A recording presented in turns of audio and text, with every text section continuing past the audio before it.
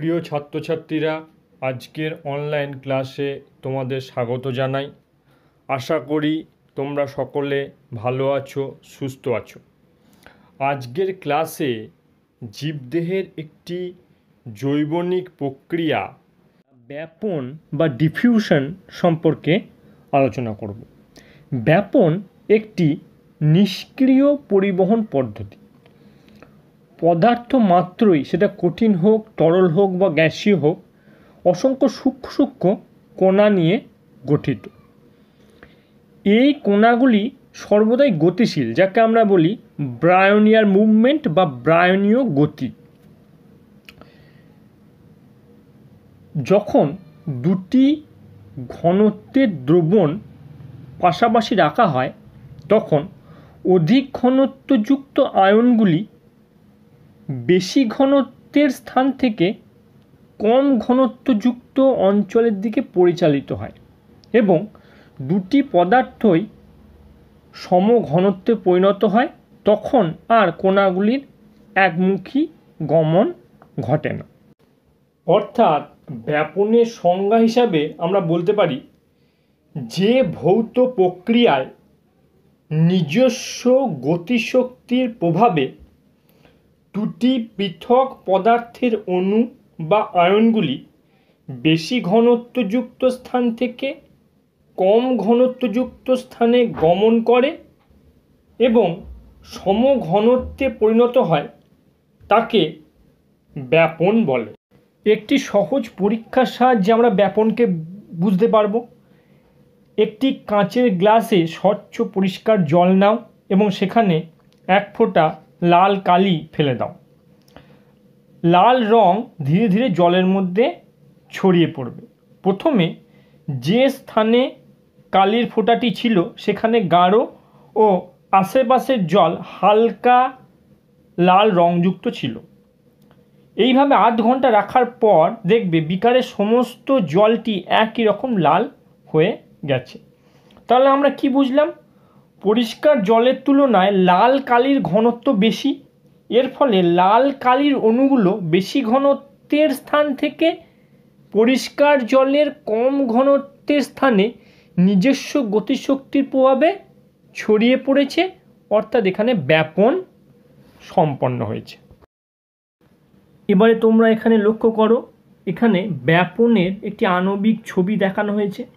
এখানে জলের মধ্যে গাঢ় চিনির দ্রবণ মেশানোর পর কীভাবে চিনিরা, চিনির অণুগুলি জলের মধ্যে ছড়িয়ে পড়ছে সেটা দেখানো হয়েছে। দেখো, তিনটি ভাগে ভাগ করা হয়েছে। প্রথম ছবিটায় দেখো, জলের অণুকে এখানে কালো বিন্দু এবং চিনির অণুকে লাল বিন্দুতে দেখানো হয়েছে। তো প্রথম ছবিটায় বাঁ দিকে চিনির অণুর সংখ্যা ডান দিকের থেকে বেশি।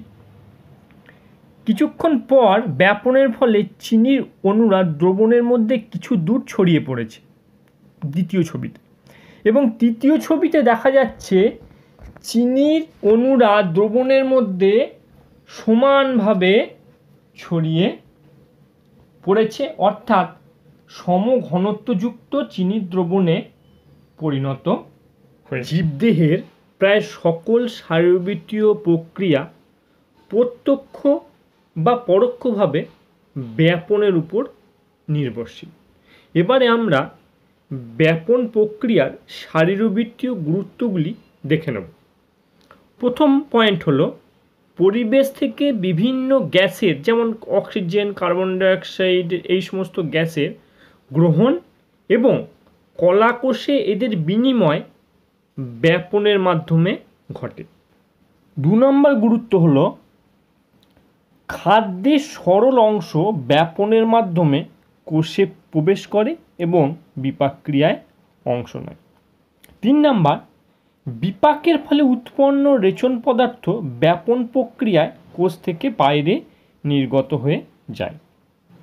চতুর্থ পয়েন্ট, জল এবং জলে দ্রবীভূত সকল বস্তুই সজীব কোষে ব্যাপন প্রক্রিয়ার মাধ্যমে প্রবেশ করে।